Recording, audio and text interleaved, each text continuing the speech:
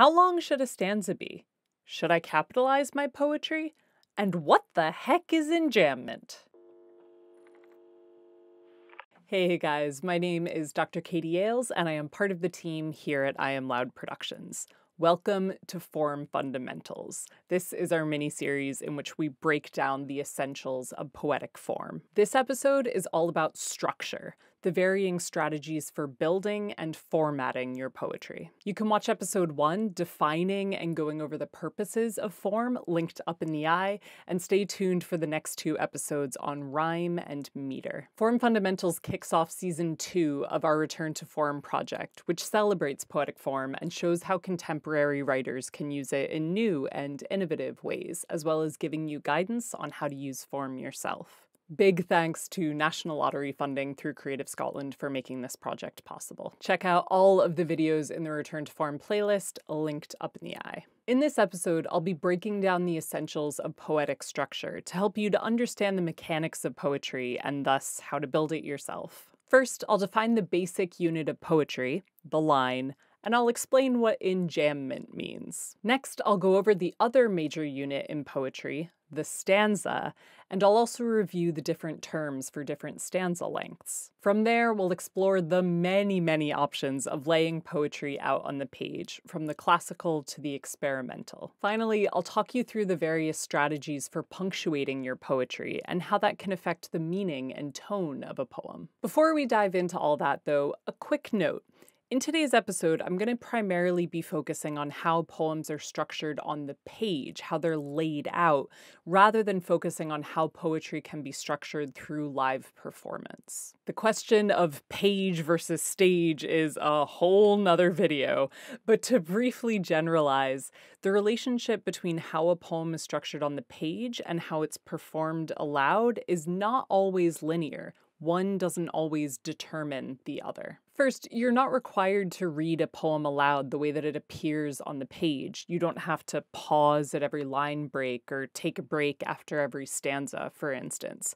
You can if you want, but that's a personal choice. Secondly, for us spoken word poets, if we are interested in publishing our work in print, there are so many fascinating creative ways of trying to represent the dynamics and the energy of live performance in how a poem is visually laid out and printed on the page. For example, my good friend and the acclaimed spoken word poet Carly Brown has a fantastic book called Grown Up Poetry Needs to Leave Me Alone, which plays with the size and the weight of font and how lines are arranged on the page to try to convey some of Carly's brilliant, dynamic, character driven performance style. So keep in mind as we go through the basics of poetic structure in this video that performing poetry aloud just multiplies the possibilities for structure, and there is so much fun to be had in the intersection between page and performance. All right, with all of that said, let's dive in.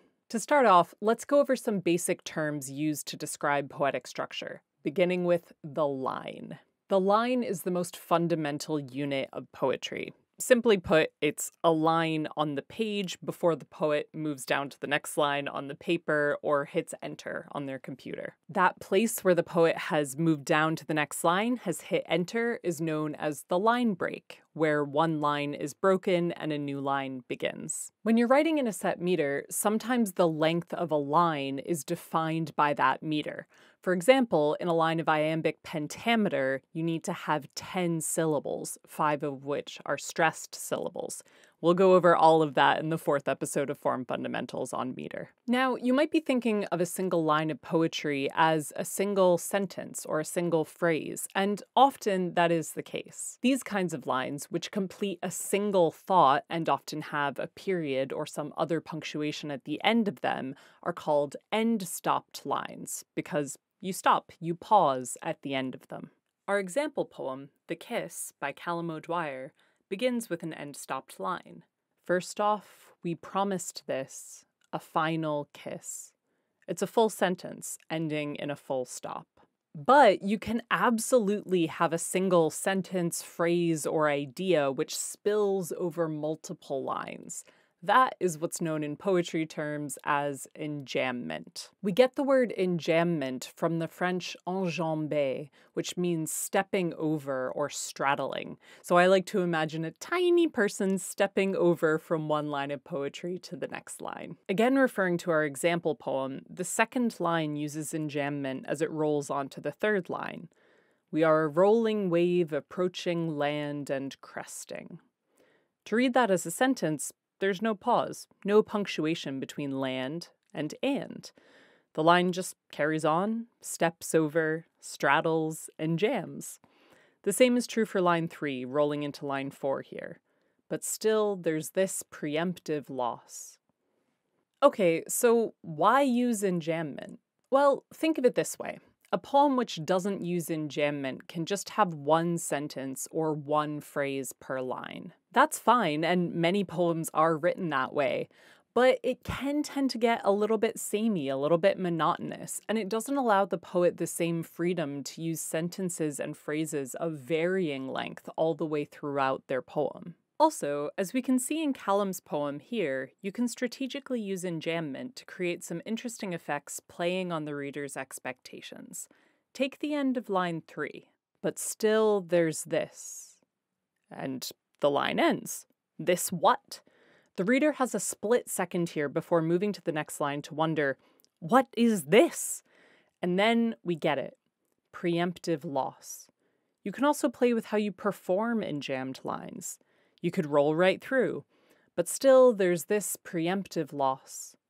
Or you could take a brief pause at the line break, but still there's this preemptive loss.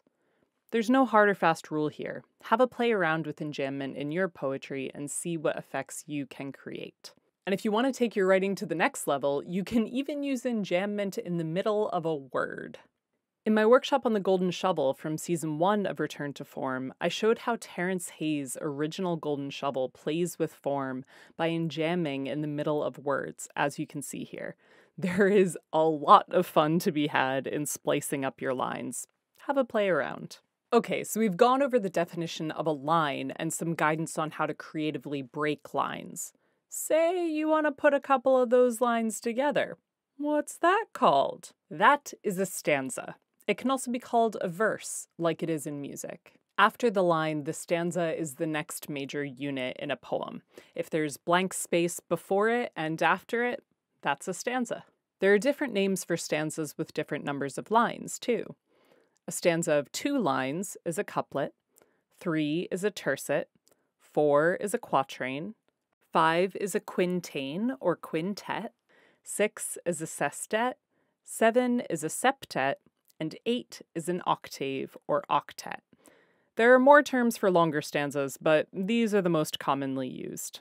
Some established poetic forms require you to write in stanzas of particular lengths. For example, standard Habbie requires you to write in sestets, stanzas of six lines each. But when you're writing a poem, particularly if you're using free form, you don't have to stick with only stanzas of the same length, all couplets, all octets, etc.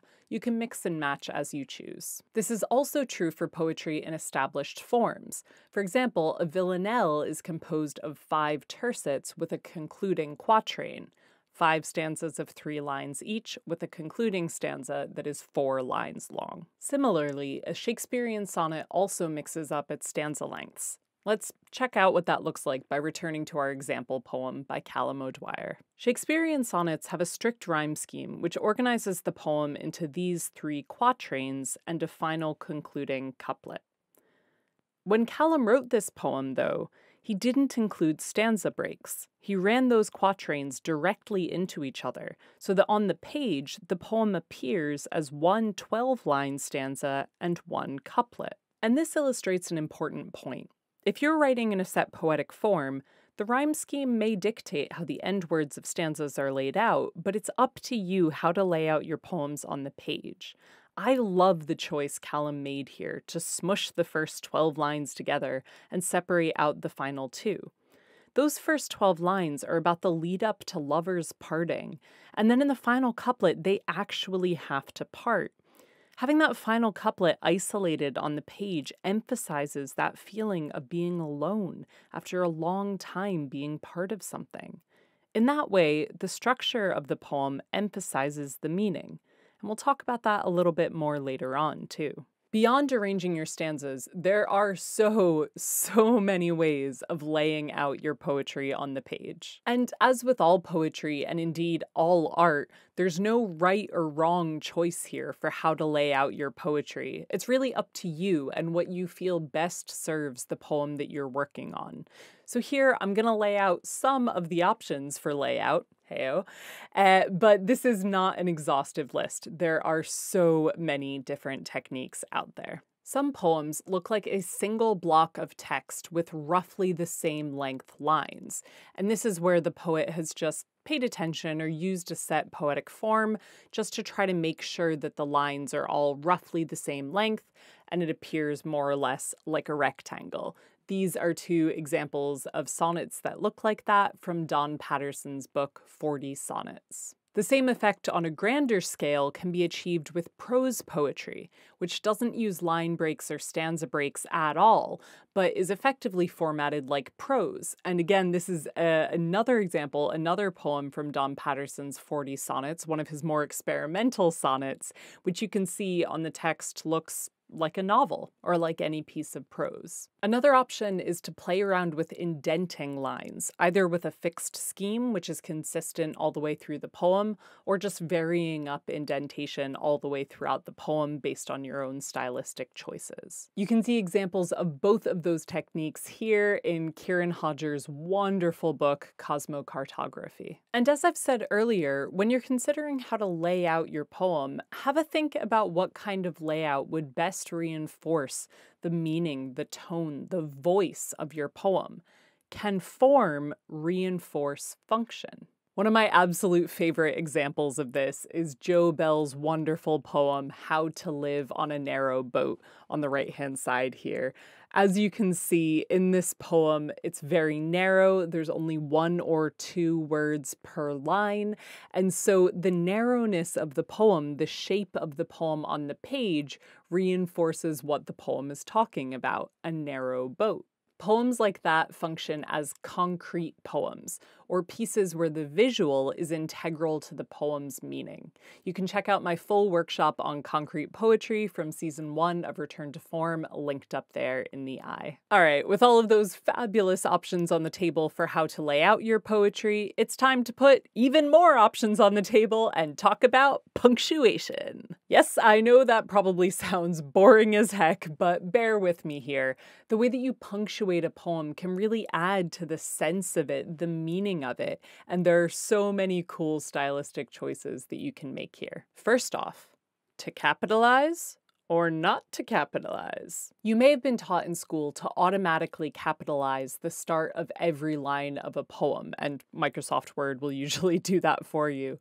This was the traditional way of capitalizing poetry, the way that Shakespeare and Keats did it. Today, and this is a broad generalization, there will obviously be exceptions, but today what's more common is to only capitalize the starts of sentences like you would do when writing prose, so that not every line of poetry will begin with a capital letter. Or if capitalization is stressing you out, you could do away with it altogether. The American poet E. E. Cummings famously wrote much of his work in lowercase, as well as intentionally using grammatical errors for stylistic effect. You can see those techniques on display here in his much loved poem, I Carry Your Heart With Me, I Carry It In. And that segues me beautifully into the joyous, very popular world of grammar. So, how does grammar work in poetry? The simple answer is that, well, there is no one simple answer. Many poets will correctly use grammar in their writings, so that if theoretically you were to take away the line breaks, you could just read a poem like you would read prose. However, there is a lot more grammatical flexibility in poetry than there is with prose, and a lot of poets bend or just chuck away the rulebooks. For just one example of a stylistic use of weird grammar, Emily Dickinson famously loved using em dashes. These are the long kinds of hyphens in her poetry. You can see that here in her famous poem number 479, Because I Could Not Stop for Death. If that were written as prose, you would usually have periods or commas. It would be a little bit hazy, but Dickinson just does away with it and uses em dashes. There's so many different techniques for how you can use grammar, whether you make up a special style of your own, and lots of examples that I could show you, but instead I'm going to say this. The most important thing about formatting and punctuating your poetry is simply to be consistent and to be thoughtful. If you're not going to capitalize, don't capitalize. Don't mix and match randomly unless you're doing that to specifically support the meaning of the poem at that point. If you want to make up your own grammar rules, groovy, go for it. But do try to stick with them all the way through. Bending the rules is awesome, but you don't want to bend them so far that your reader actually finds it difficult to understand the poem, unless you're trying to alienate them, in which case, fair dues, go for it. Just always consider how form can reinforce function, how the punctuation choices that you're making can echo, support, underline the meaning of your poem.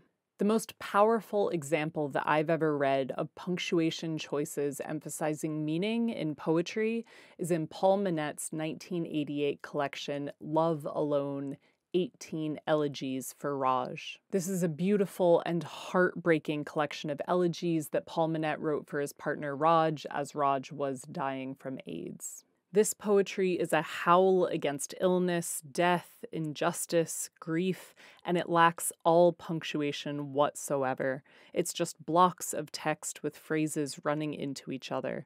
This chaos makes it hard to read, hard to understand, and it communicates to the reader the inexplicable, logicless nature of death in one's prime, of losing the one you love. Monette himself said of the form for these elegies, I want them to allow no escape, like a hospital room, or indeed a mortal illness. I wanted a form that would move with breathless speed. And that's just one very powerful example of how poets can use structure to support, to reinforce the meaning of their work, and to convey certain moods, certain tones to the reader. So, as you're reading poetry and as you're writing your own, don't just pay attention to the words of the poem and the meaning of those words. Also, pay attention to how they're laid out, how they're formatted, how they're punctuated, and consider how all of that structure affects the poem more broadly. And that's it for this episode of Form Fundamentals. I really, really hope that this episode has been helpful for you in understanding poetic structure. As always, if you guys have any questions after watching this video, please pop them in the comments below. I am more than happy to help. And stay tuned. Next week, we will be releasing the third and fourth episodes of Form Fundamentals, focusing on rhyme and on meter. If you enjoyed this video, please do consider liking it, subscribing to the channel, and ringing that bell icon so that you don't miss any of our other upcoming videos. You can directly support our work and receive so many wonderful perks by signing up to our Patreon for as little as one pound a month. Thank you so much for watching, guys, and happy writing.